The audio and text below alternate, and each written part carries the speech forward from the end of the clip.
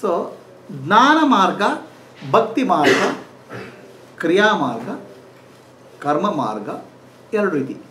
ಲೋಕೆ ಅಸ್ಮಿನ್ ದ್ವಿಧಾ ನಿಷ್ಠ ಪುರಾ ಪ್ರೋಕ್ತ ಮಯಾನಗ ಜ್ಞಾನ ಯೋಗೇನ ಸಾಂಖ್ಯಾನಾಂ ಕರ್ಮಯೋಗೇನ ಯೋಗಿನ ಜ್ಞಾನ ಮಾರ್ಗ ಒಂದು.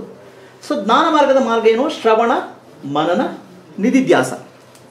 ಆಯಿತಾ? ಅದೇ ಅಷ್ಟೇ ಅಷ್ಟೇ. ಅದನ್ನು ಶ್ರವಣ ಮಾತ್ರದಿಂದ ಮುಕ್ತಿ, ಕೇಳಿದ್ರಿಂದ ಮುಕ್ತಿ. ಮನನ, ನಿಧಿಧ್ಯಾಸ ಪ್ರಾಕ್ಟೀಸ್ ಆಯಿತಾ? ಅದು ಜ್ಞಾನ ಮಾರ್ಗ. ಸರಿಯಾದ ಆತ್ಮಜ್ಞಾನಿ ಅದು ಗುರು ಬ್ರಹ್ಮನಿಷ್ಠ ಕಡೆಗೆ ಅದನ್ನು ಹೇಳೋರು ಬೇಕು. ಅವ್ರಿಗೆ ಅವ್ರಿಗೆ ಏನು ಹೇಳ್ತಾರೆ? ಶ್ರೋತ್ರಿಯ ಅಂತ ಹೇಳ್ತಾರೆ. ಕರೆಕ್ಟಾಗಿ ಹೇಳಬೇಕು. ಅಂದರೆ ಎಲ್ಲ ವೇದಗಳು ಗೊತ್ತಿದ್ದವಂತಲ್ಲ, ವೇದಗಳ ಅರ್ಥ ಗೊತ್ತಿದ್ದವ್ರು ಚೆನ್ನಾಗಿ ಹೇಳೋರು ಬೇಕು. ಅವ್ರದ್ದು ಅದು ಜ್ಞಾನ ಮಾರ್ಗದಲ್ಲಿ ಶ್ರವಣದಿಂದ ಮುಕ್ತಿ.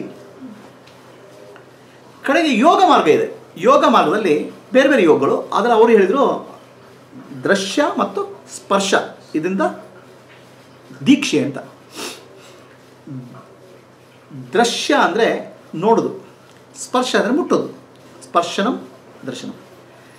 ಏನಾಗುತ್ತೆ ಸಾಮಾನ್ಯವಾಗಿ ಜನರಿಗೆ?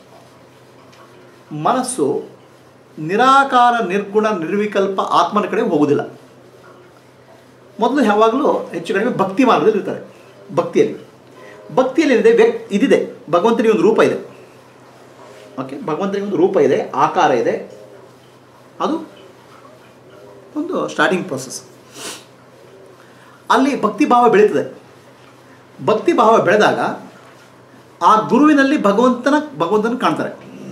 ಗುರುವಿನಲ್ಲಿ ಭಗವಂತನ ಅನುಭವ. ಆವಾಗ ಗುರು ನೋಡಿದಾಗ ಭಗವಂತನೇ ನೋಡಿದ ಅನುಭವ. ಯಾವಾಗ ನಿಮ್ಮಲ್ಲಿ ಭಕ್ತಿ ಉಕ್ಕಿ ಹೇಳಿದಾಗ ಆ ಗುರು ನೋಡಿದಾಗ ಭಗವಂತ ನನ್ನನ್ನು ನೋಡಿದ ಅನ್ನೋ ಅನುಭವ ಗುರು ನನ್ನನ್ನು ಮುಟ್ಟಿದಾಗ ಭಗವಂತ ನನ್ನ ಸ್ಪರ್ಶ ಮಾಡಿದ ಅನುಭವ ಬರ್ತದೆ. ಅಲ್ಲಿ ಏನಾಗುತ್ತೆ? ಅದೇ ದೀಕ್ಷೆ ಆಗುತ್ತೆ. ದೀಕ್ಷೆ ಅಂದರೆ ಬಿಗಿನಿಂಗ್ ನಾನು ಹೇಳ್ತದ್ದು ಶ್ರವಣ, ಮನನ ದಿವಸ ಎಂಡಿ. ಕೊನೆ. ದೀಕ್ಷೆ ಅಂದರೆ ಆಧ್ಯಾತ್ಮ ಮಾರ್ಗದ ಸುರು. ಆಯಿತಾ? ಆದ್ಯ ಏನಾಗುತ್ತೆ? ಆ ಸ್ಪರ್ಶ ಮತ್ತು ನಯನ ದೀಕ್ಷೆ ಅಂತ ಹೇಳ್ತಾರೆ. ಸ್ಪರ್ಶ, ನಯನ ದೀಕ್ಷೆ ಅಂತ ಹೇಳ್ತಾರೆ. ಸ್ಪರ್ಶ ಮತ್ತು ನಯನ ದೀಕ್ಷೆ. ಅದರಲ್ಲಿ ನಿಮ್ಮಲ್ಲಿ ಪರಿವರ್ತನೆ ಆಗಿ ಶುರು ಆಗುತ್ತೆ ವಾಸನೆಗಳು ಕಡಿಮೆ ಆಗಿ ಆಗ್ತಾರೆ ಆಯಿತಾ? ಆ ವಾಸನೆಗಳು ಕಡಿಮೆ ಆಗಿ ಕಡಿಮೆ ಆಗಿ ನಿಮಗೆ ಆ ಭಗವಂತನ ಅನುಭವ ಆಗಲಿ ಶುರು ಆಗುತ್ತೆ ಆವಾಗಲೂ ಇನ್ನೂ ಸಗುಣ, ಇನ್ನೂ ಆತ್ಮಜ್ಞಾನದ ಅನುಭವ ಬಂದಿಲ್ಲ. ಆತ್ಮಜ್ಞಾನದ ಅನುಭವ ಬರಬೇಕಾದ್ರೆ ಕಡೆಗೆ ಜ್ಞಾನದಿಂದಲೇ ಬರಬೇಕು. ಓಕೆ ವೇದಾಂತದ ಪ್ರಕಾರ ನೀವು ಯಾವುದೇ ಮಾರ್ಗಗಳು ಹೋದರೂ ಕಡೆಗೆ ಜ್ಞಾನ ಮಾರ್ಗಕ್ಕೆ ಬರಬೇಕು.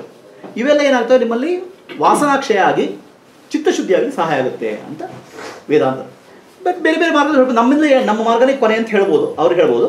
ಬಟ್ ವೇದಾಂತದ ಪ್ರಕಾರ ಆತ್ಮಜ್ಞಾನ ಸರಿಯಾಗಿ ಆತ್ಮಜ್ಞಾನ ಆಗದೆ ಬರೋದಿಲ್ಲ ಅಂತ ಹೇಳ್ತಾರೆ. ಅದು ನನ್ನ ಅಭಿಪ್ರಾಯ ಕೂಡ. ಸೊ ಬೇರೆ ಬೇರೆ ದೀಕ್ಷೆಗಳೆಲ್ಲ ಮನುಷ್ಯನಿಗೆ ಒಂದು ಆಧ್ಯಾತ್ಮಿಕ ಸಾಧನೆ ಮುಂದುವರಲಿಕ್ಕೆ ಒಂದು ಸ್ಟೆಪ್ ಹಾಕ್ಕೊಡ್ತವೆ ಅಲ್ಲಿ ವಾಸನಕ್ಷೆ ಆಗುತ್ತೆ ವಾಸನೆ ಇಂಪ್ರೂವ್ ಆಗ್ತವೆ. ಕಡೆಗೆ ಅವನ ಮನಸ್ಸು ಏನಾಗುತ್ತೆ? ಜ್ಞಾನಕ್ಕೆ ರೆಡಿ ಆಗ್ತದೆ. ಆಯಿತಾ?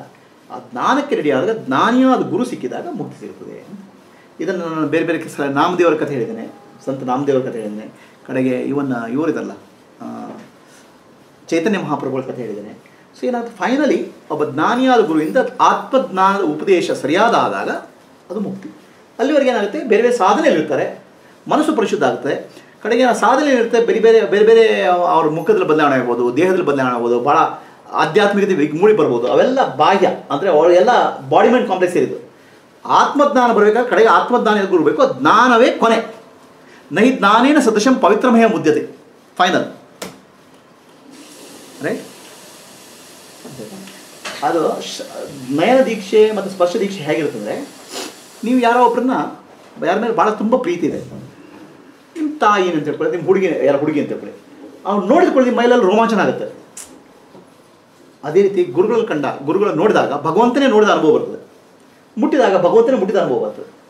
ಸೊ ಇಲ್ಲಿ ಯಾಕೆ ಅನ್ನೋದ್ರೆ ಗುರುಗಳು ದೇಹ ಅನುಭವನ ಇದೆ, ನಾನು ದೇಹ ಅನುಭವನ ಇದೆ. ದೇಹಾತ್ಮ ದೇಹಾತ್ಮ ಬುದ್ಧಿ ಹೋಗಿಲ್ಲ. ಸೊ ಅದಕ್ಕೆ ಅದಕ್ಕೆ ದೀಕ್ಷೆ beginning but it's not end Very え?